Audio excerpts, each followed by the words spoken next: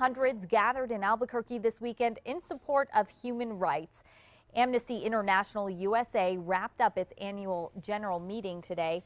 400 activists from across the country turned out, including 50 from Albuquerque, hosting and attending trainings and workshops on promoting human rights around the globe. We've had leaders from Standing Rock, the Dakota Access Pipeline fight. We've had leaders uh, in the global refugee fight who have come here to share stories and to share tools with people. Organizers say a big topic this year was immigrant rights in the wake of President Trump's promises to crack down on people living in the U.S. illegally.